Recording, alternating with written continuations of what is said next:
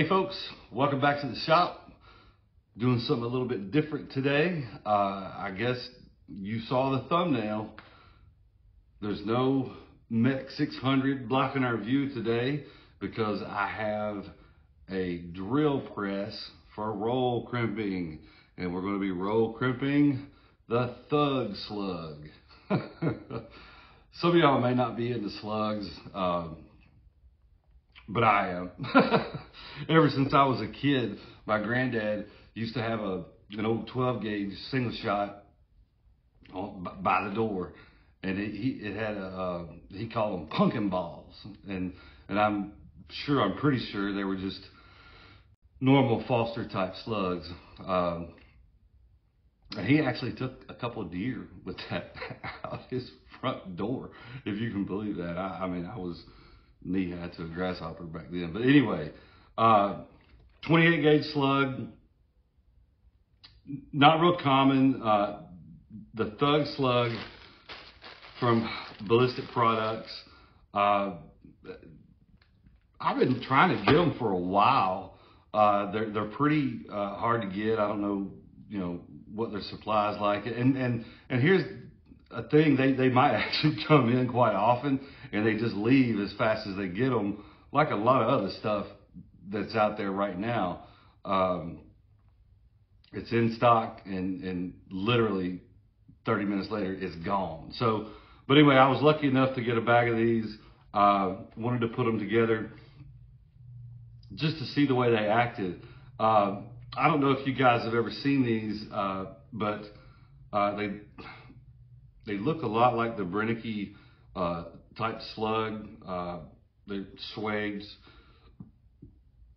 pretty hard uh, lead, so probably won't deform a whole lot. Um, anyway, I used a load.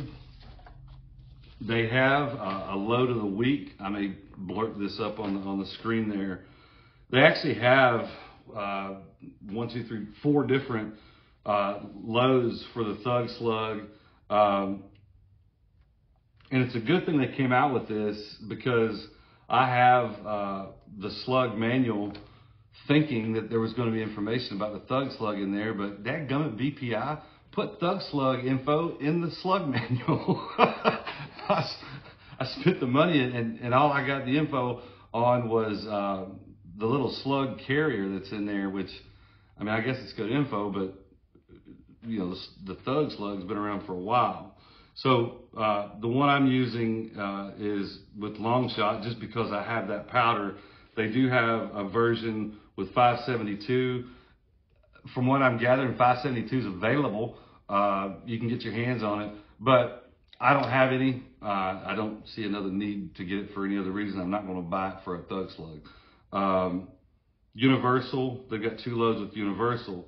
Um, out of all of these, um, the Longshot load that I'm loading up had the highest velocity. Uh, it also had the highest pressure from what they're saying. Uh, I did run this through the um, pressure trace tube, and, and this are the results from that. So velocity, uh, I shot a five shot string and at muzzle, I was showing 1,434 feet per second, which is a little bit lower than what they're showing. They're saying that it's going to be around 1488. Um, and also the pressure, uh, I showed it a good bit lower than what they're showing. Uh, I'm finding out that a lot of the load of the week stuff that, that I've been doing. Uh, uh, if you watch the, the three inch versus two, two and three quarter inch steel video, that was a load of the week load. And it came in a lot lower pressure on my pressure trace than what they're publishing. They're maybe just playing it safe. I don't know. Uh, but at any rate, I may blurt this up here so you can take a look at that. Now, the only real thing that I have to compare this to is just because it looks like it, is that Brenneke uh, 28 gauge slug. Uh, I know that uh, Buffalo did a couple videos on on that slug, and there could be more out there. I don't know. I, I just you know, quick search, they come up on his. So he he did some shooting uh, with that. If you want to go check his video out, you can. But that's where I'm getting some of the info as far as like how much the Brenneke weighs uh, versus this. A little bit of difference, not a ton, but a little bit of difference. Um, and then also, uh, I got some info from the Brenneke site for ballistic coefficient and stuff like that, just so we can put together some uh, some numbers, right? Now, as far as numbers goes,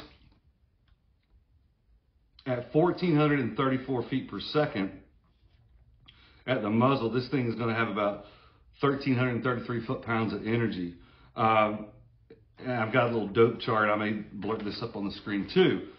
Uh, at 25 yards, the velocity drops down to 1222, 969 foot-pounds of energy. At 50 yards, you're down to 750 foot-pounds of energy. At uh, 75 yards, you're at 623. This was sighted in, assuming at 87 yards.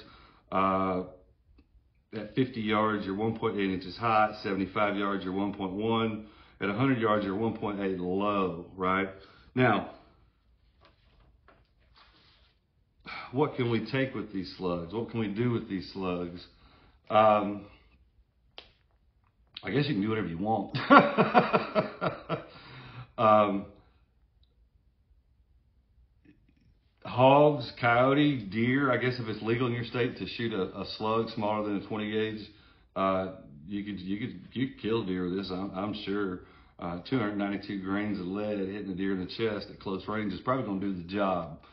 Um, but don't want to get too far into that. What I want to do is bring you around here, uh, show you how we put these together. It's very simple. We'll be doing some roll crimping. I've never done that on the channel here. I don't do a lot of roll crimping. I hate roll crimping, by the way. Uh, and the reason is I have not found a way um, to get the holes to where I can reuse them again. And when you're talking 28 gauge, especially 410s, man, roll crimping is just not uh, real, real happy with me. Now, what I will tell you is you can fold crimp these. You can fold crimp slugs. I've got some slugs that I fold crimp. Matter of fact, BPI has 410 slugs right in their manual and it says fold crimp. So just because it's a slug does not mean it has to be rolled. Uh, I think that's just a, a way a lot of, uh, I think sometimes it's just done to determine that, hey, by the way, this is a slug. when you see that chunk of lead through the top of the slug, you know it's, or the shell, you know it's a slug, which I would be more comfortable with that too. But I also have some slugs that I do have to roll crimp uh, just because of the stack height and all that kind of stuff. So anyway, uh, let me get you around here on, on this side of the bench. Uh, we'll put these things together. And then also, I went to the farm, did a little shooting. I think I got some footage of me shooting. I've got a target. I shot a five shot string. We'll take a look at that. Uh, and then maybe some final thoughts on, on, on, on slugs and the thug slug. Uh, so come on around. All right. Okay, so let me let me first start off by saying YouTube, uh, they've gotten to where, and I don't know how recent this has happened, but but it's it's happened to me. Um, while uploading videos, they get kicked back because I am showing people how to manufacture ammunition. And, and, and I guess from what I can gather, because I don't get a ton of information, and hopefully, you know, this goes through, is they don't want people to show the complete process of loading ammunition or making ammunition, right? So what I have found out is if I leave some steps out, then we are more than likely good to go. So what I will tell you is I have primed and powder charged hulls right here. Okay. Um, I've already loaded a couple. Right here you go. See the little thug slugs? This one's not that great. And by the way, this is something too that, that a lot of people say, man, you can't, you can't roll crimp, uh, you know, holes that were crimped already. Well, I'm gonna go ahead and tell you, these are once fired Cheddite holes. Um, I'm gonna roll crimp them. These are once fired Cheddite holes. I roll crimped them. but I will show you this. This is a new Fiocchi hole that was roll crimped. So from the uh, uh, an appearance point of view, yeah, I'd say the Fiocchi looks a little bit better. Uh, it may even, you know, I would say it probably would retain better pressure or more consistent pressure. And heck, it may even be more accurate as a slug. I don't know. I, would have to, uh, and I might do that. I may load up maybe five of these, load up five of these and see what happens. Um, so anyway, uh, where were we? All right, so, so this is what you get. You get a bag of, of thug slugs. There's 25 of them in a bag. Now, I hope the camera can see this. So, so let's look at what we've got here as far as weight. So this thing is, is similar to the Brenneke slug, except, you know, this doesn't crush up into like the Brennekes. You have a crush section right here that, that is going to crush. Now, it does come apart, right? So that slides up in there. So this is one of the reasons why I'm not real fond. I mean, this is very similar to a Foster type slug, but you see how, how deep that is. I mean, and how thin the outside wall is. So there's only a very small amount of solid lead. And, and, you know, we know this because this by itself is 262 grains. I don't know if you guys can, can see that. Well, I understand I can't move that scale and it'll change. But 262. Now, if I put the base wad in there, you know, the way it actually goes together, now we're at 292. Now, earlier I, I referenced back to, to, Buffalo Outdoors and he did a video on the Brenneke slugs. And again, they look super similar to this, but I think um, when he took the, the Brenneke apart, it was in the 240 range. And then when he put it all together, it was like 272. So this whole thing is weighing about 20 grains more, right? So that's why ballistically it's going to hit a little harder um, than the Brenneke if you're pushing at the same speed, right? Now, so that's the weight of this thing. Now, in, in the halls, the way that the uh, load is put together, let me pull my sheet over here. So we see right here, we've got to do uh, Longshot, uh, a NitroCard 28 over the powder and under the slug. So what they're trying to do is they're trying to raise the slug up into the shell column, which is commonly done even in you know normal shot. So here's our nitro cards right here. Big old bag of these. And um, so we pull one out. All right, let me give you a, a, quick tip on these too. Sometimes people fight with these. So when you put this thing in there and put it in sideways, but take you something that's that's flat and round. You can use, I, I'm using a screwdriver, you know, to push down.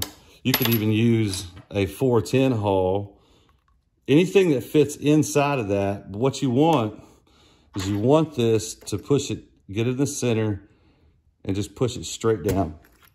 And it, it won't, it won't rotate inside that hole. Because you get it down there rotated, you'll end up tearing the card up and, it, and it's just a big pain in the butt. So now, is how simple it is. You just take this, this thug slug and you just drop him in. And I just use the back of this screwdriver and push it in there like that. Right? So there you go. Now, we've got it together. I'm gonna go ahead and put another one together, right?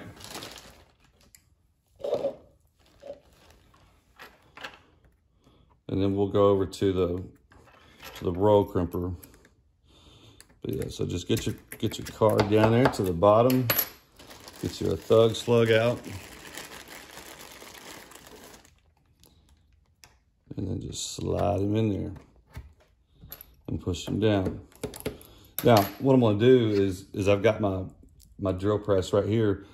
I'm going to reload relocate the camera to where we can see what's going on here. And um, we'll row crimp some of these babies. All right. Hope y'all can see this. Um, I don't have the best lighting in the world, matter of fact. Let me, let me get this a little bit better light right here. All right, so drill press. I have this. This is just a cheap Harbor Freight. I don't even think it came from there. This thing's old. But this is what I use to roll crimp. Now, let me give you a quick tip on roll crimping, at least for me. Um, I have just an old uh, 28 gauge hole here. It's been shot. Uh, I use it to heat up my crimper. I've got the belt set up on the lowest speed. Uh, I'm not sure. I think it's about 700 RPM. It's probably a little fast. I think if you could get it down slower, you'd probably even get a better result. But it's not terribly bad. I mean, you can see on the practice curve here. This is a precision uh, crimp die. Uh, everybody has their preferences. Um, I like the precision. I've tried the BPIs in the past. Didn't really care for it. Uh, but anyway, so this is a precision roll crimper. Now, I'm going to turn this on and I'm going to burn this down a few times. And here's something else.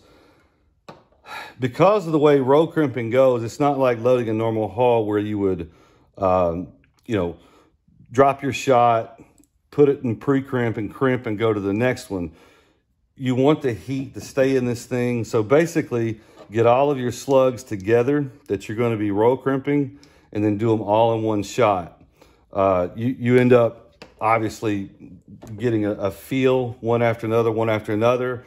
Uh, it, it, goes a little bit smoother. You get better crimps and you get a feel for when to stop. I don't have any kind of stop set on, on, on my, my press. Um, some people do, some people don't. But you can feel it when it bottoms out, okay? So I'm gonna turn this on. Uh, maybe on editing, I can cut the volume down because this thing is loud.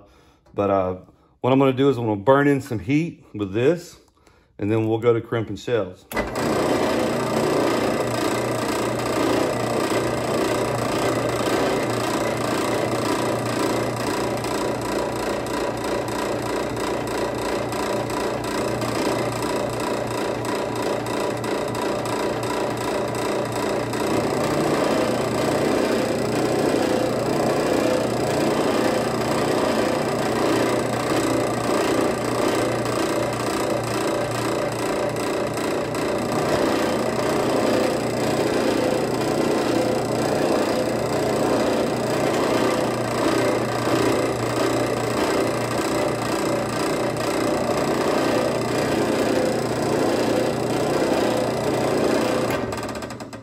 All right, that was pretty down and dirty uh, and fast.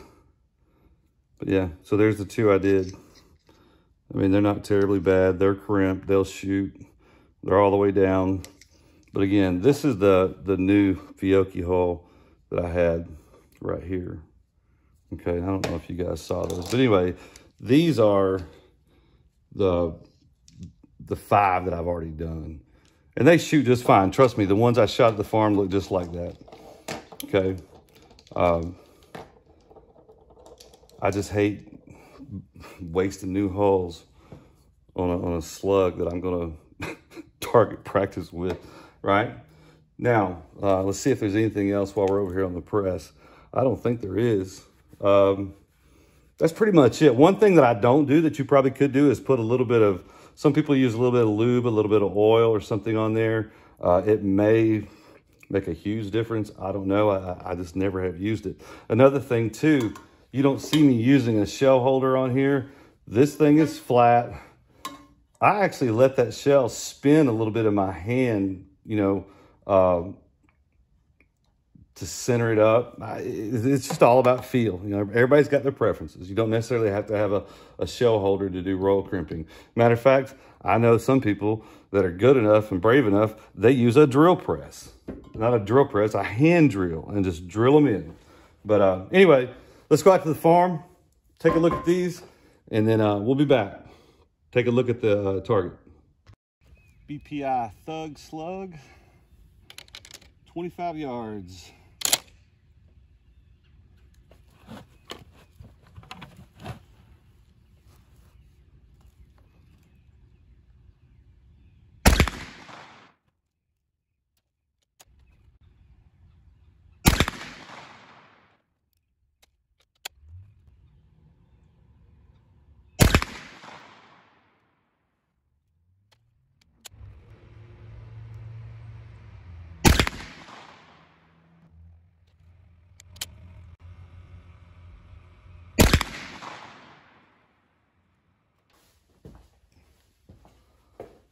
All right, what y'all think about that? That was pretty pretty wild, huh?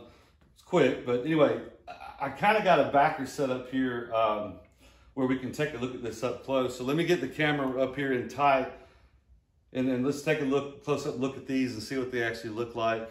Uh, I'm gonna go from there. All right, so let's take a look at this a little bit closer.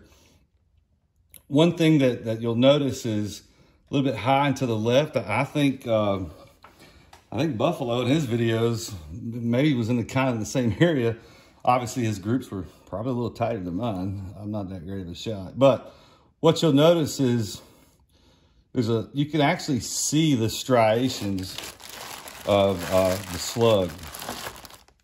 And, you know, you can see uh, right here on the, on the tips where they are actually going right in there, right? So we're not squeezing it down, uh, you know, to where those are gone because obviously we can we can see them. One thing that you will see is there's a little yaw, and and and, and Buffalo got this too, where this thing is not hitting perfectly straight. It's got this one had a little bit of yaw right here. There's a tear in this paper right here. Okay, this one big time tear right here. So it looks like that wad was crushed up. You know, it, the wad crushed up and it hit a little bit sideways, which means it's not flying perfectly straight. And the further down range, the more it may correct itself. Uh, these, this wad is almost acting like a, a, a stabilizer, if nothing else. Uh, if you could imagine a shuttlecock, the weight, by design, the weight is right here. Well, of course, there's weight here too, but there's probably more right in the tip. But this is stabilizing it as it goes down. And I think on Taofledermaus YouTube channel, I think they did show a video where these little striations are or will impart a little bit of spin on, on, a, on a slug in a smooth bore barrel, which, you know, I don't know of a 28 gauge that has a rifle barrel. Um, it doesn't mean there isn't one. I just don't know of one. So, uh, and they are at an angle. I don't know if you can see that, but they're at a slight angle right there. So, you know, it would impart a little bit of spin and actually would it be left, right? But anyway, as far as group size, I hate to even measure group size, but you know, from there to there is about four and a half inches, maybe a little bit less maybe a little more, actually just a little bit more if you go center to center. Um, you know, if you take the flower out, maybe two and a half, something like that. But uh, not terribly bad with, with a big, large front bead for a sight. That's it at 25 yards. So pretty much the only thing, you know, those are the things I wanted to go over as far as the, the close-up on the target is there is a little bit of yaw, which I'm sure would affect maybe penetration, that kind of stuff. Um, but other than that, it looks pretty good. Looks pretty good. So let's get you back around the front bench and, and let's get some final thoughts on the Thug Slug and, and, and some, some uh, sneak peeks at what's coming up. So what y'all think about the Thug Slug? it, it, this may not be up any of y'all's alley at all. and if you don't watch, that's fine. I get it. Uh, but man, I, I, I like messing with the slugs. I like messing with anything, uh, you know, sub gauge 28, 410. Um, how does it do? I mean, I, I guess um, it does okay. it probably, it probably. I mean, I'm sure it, it, it's right there with the Brenneke. Uh, you know, ballistically, actually, it's probably got a little bit more energy because it's heavier. Uh, from from my shooting with, uh, I was shooting a Benelli Super Black Eagle 3, uh, 28 gauge, chambered in three inch. These are two and three quarter inch shells. Um, and um, just the rib and the bead. And if y'all ever seen the bead on those guns, they're huge. they're big. it's not like a little tiny brass bead, which would probably would have helped. Um, so that's about as good as I could get off of a rest. Uh, the triggers on those guns aren't like you know two and a half pound triggers. So uh, I'm sure you could, if you had a dedicated gun that, uh, you know, one of the TriStars that you could put a trigger group in that's really crisps and lightens up those triggers, uh, you might could come up with a pretty accurate uh, piece. Uh, actually, even, uh, you know, I think, uh, I know that the TriStars and maybe some of the other guns, they come with like a rail, uh, a, a groove built in for that you can attach an optic to, uh, which would be neat. Uh, I, I, have uh, one of my pointers. I've actually went out and bought a, uh, a, a Weaver rail that I think I may tap and, and drill and tap the, my receiver just so I can put an optic on it, just to see how good I can get with, uh, well, the thug slugs, but also I, have got some other slugs that uh, are proving to be a bit more accurate and they're a bit heavier. And so they're going to be a more uh, power down range. Now, let's talk about that power down range on the Thug Slug. So the data that, that BPI is giving us, I'll be honest with you, it's a little anemic for me. I think that a 5 8 ounce projectile could could be moving much faster out of this, uh, out of a, a two and three quarter inch 12 gauge. And when I say much faster, I'm talking 1600 to 1700 feet per second. Um, am I going to spend the time on the thug slug to, to make that happen? Probably not. But as a loader, you might want to do that, you know, because you know what, you when, when these are around, you can get them. You can get them in 20. They come in 25 packs. So if you're able to, to get, say, uh, you know, four packs, that's a hundred of them. So you could definitely, uh, you would have a lot to work with to work up a load, you know. Uh, if you, you, you build five, say, say you took uh, five strings to, to put together a load that you think is going to be good, so that's one bag. Uh, then, then you send off a string of, of six or ten to precision uh, to get tested. If it didn't work out, then you could put another 10 together uh, and then send that in uh, and, and see how that works. Once you got it good, then you could actually refine it below maybe what your max was or if you're shooting for a certain velocity or whatever. Uh, so 100 should get you where you need to go. And then you can just load up 25 of them and hunt uh, or whatever you want to do with them for, uh, you know, the next year uh, or whatever, you know, that's kind of my process. I don't want to be thinking for nobody, but that's kind of how I would do it if I'm working to get, putting together loads. Uh, anyway, uh, what could you do with them? I mean, you could kill foxes. I'm sure you could kill a hog with it. Uh, I'd say these things will take uh, a whitetail out to 40, probably 50 yards if you can hit it, you know. Um, and I think, you know, that's going to be our limiting factor with smoothbore is, is accuracy. Really don't know how accurate they can be. Um, someone, you know, that's very proficient in shooting, uh, you know, rifle type shots, like Buffalo or, or uh, Officer Greg or whoever, then they're going to do a whole lot better job than I can at it. Uh, now,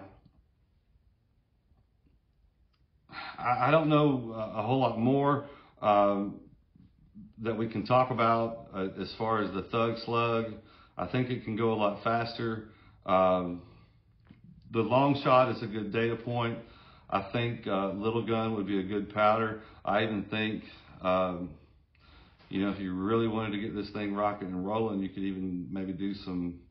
Well, I don't want to get into a bunch about that kind of stuff uh, because I don't want to get in trouble. By the way, even though this is all listed, load at your own risk.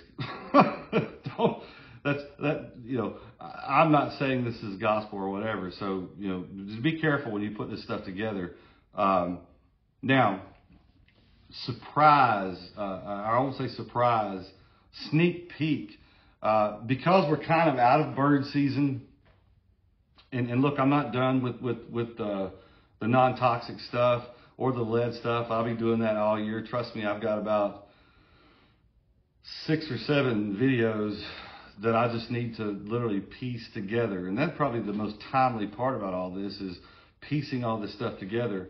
I don't know if y'all realize how much time this takes. Um, so, uh, but here's here's a sneak peek. So this is the the the Thug Slug 28 gauge. That's what we just looked at. Pretty, pretty neat. I don't know. There might be 30 of y'all that actually even are interested in that. But hang on. I think just by looking at viewership on, on the stuff that I do, I have a bag of 410 Thug Slugs. Uh, this is one of the videos that I need to work on putting together because I've already shot these. Matter of fact, I shot them on the same day. But look at that little puppy. right? But look, it's a 410 slug. I don't know of, of a whole lot of slugs that are available that you can put together. And 410, anything right now is hard to get a hold of. I probably should just be dedicating everything I do to 410 because that's probably what people want to see. Now, so we have 410 thug slugs. That'll be interesting. Um, let me show you this. Some of y'all may, mouth may just drop wide open. Some people have already seen this. This is a 28 gauge, three quarter ounce, yes, three quarter ounce. And when I say three quarter ounce, I'm gonna weigh it here real quick. 326 grains, right? Much, much more than the Thug Slug or the Brenneke slugs. Um, it has a screw in the center of it. I don't know if you can see that. I hope y'all can see that screw right? With a base wad that flies just like this. Let me tell you something. This is coming up. Boy, howdy. I'm not a good shot, but this thing makes me look good. Now, you want to make the 28 gauge a thumper? How about a 7 8 ounce, right? Let me put this, how about a 7 8 ounce chunk of lead a paradox type slug. And when I say 7 8 ounce, I'm talking 389 grains. It's actually a little bit more than 7 8 ounce. And by the way, I have tested data for both of those two slugs. This one is moving at 1600 feet per second. This one is moving over that. so Stay tuned. Stay tuned. Now, for my 410 fans, if the Thug Slug wasn't big enough for you, check this out. I have a hundred and let me let me weigh these for you. I have a hundred and fifty and a hundred and thirty-one grain Foster type slugs, right?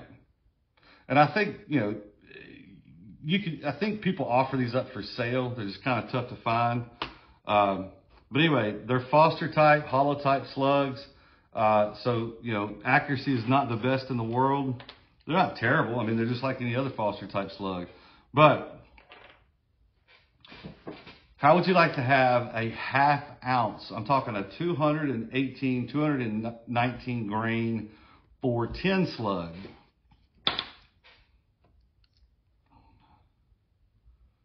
Can you see that? That is a half ounce. Let's see exactly what it weighs.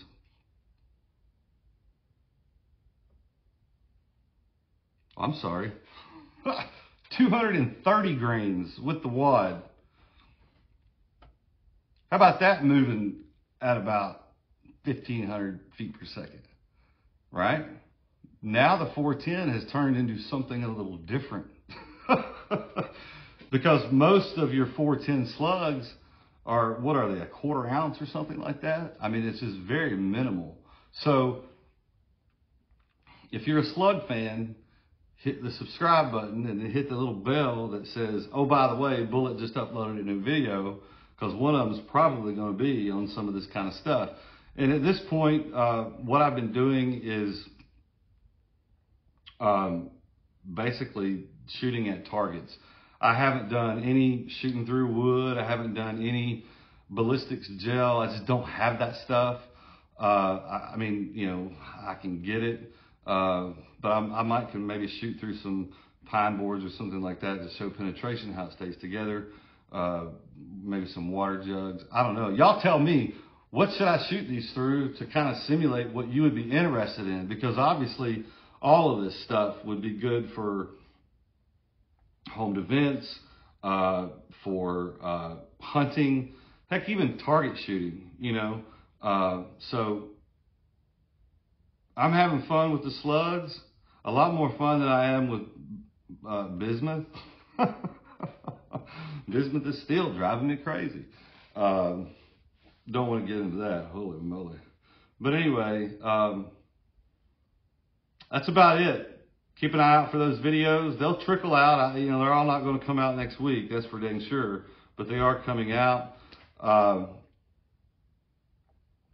hit the subscribe button. Like us.